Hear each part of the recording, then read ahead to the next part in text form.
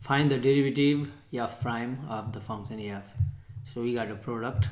So let me remind you the product rule.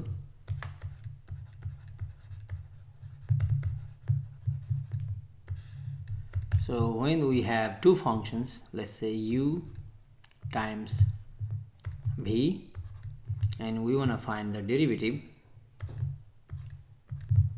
that is always equal to this is not simply derivative of first factor times derivative of second factor. That is not true.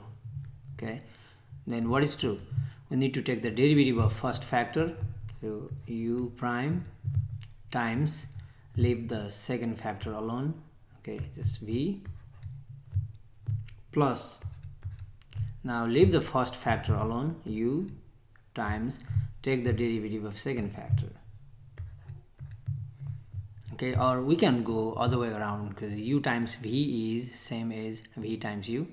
So we can take derivative of one factor doesn't matter which one plus leave the second alone plus other way around okay?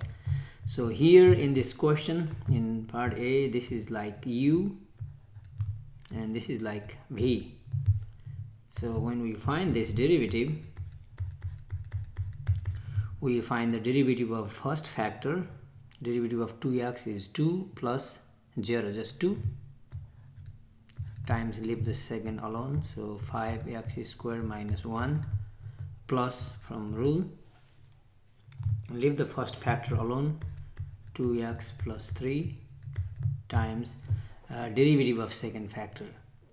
We got two terms uh, 5x square is 2 times 5 10x minus 0 just 10 so 10x sorry 2 pi 2 times 5 is 10x minus derivative of 1 is 0 just 10x we don't have to simplify. The best we can do is distribute 2 distribute 10x and combine the like terms.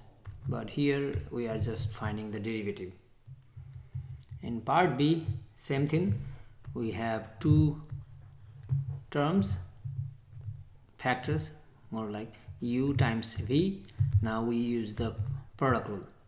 Okay by the way what we kept what could we have done is just FOIL simplify these then just go to the regular derivative. That was possible. But when we have a lot of terms then multiplying takes a lot of time. So instead we just find the derivative using product rule. In some cases like here it's better to use product rule and there might be some functions where we cannot even multiply so we must use product rule here a derivative of first factor using the product rule so x cube means 3x squared minus 8x means 8 derivative of first factor times leave second alone 1 minus x plus 2x cube plus from the rule leave the first factor alone x cube minus 8x times derivative of second factor. Derivative of 1 is 0 you don't have to write. Minus derivative of x is 1 so minus 1 plus plus sign 3 times 2 6x squared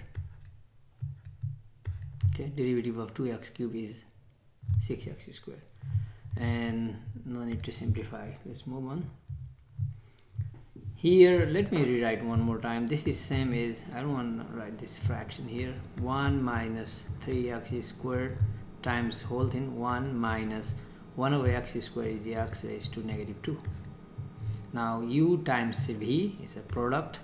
Now we can use the product rule and the derivative is given by derivative of first factor so 0 minus 3 times 2 6x this is negative 6x derivative of first factor times second 1 minus x raised to negative 2 plus leave first alone 1 minus 3x squared times derivative of second factor. Derivative of 1 is 0 don't have to write. Minus uh, x x raised to n. From the power rule n so negative here x n is n bring negative 2 to the negative 2 to the ground that makes plus 2 which is minus and negative 2 means plus 2 and this plus we don't have to write this because it's times 2 okay just 2 x raised to negative 2 minus 1 negative 3 and this is it. The best we can do is negative 6x 1 minus this is 1 over x squared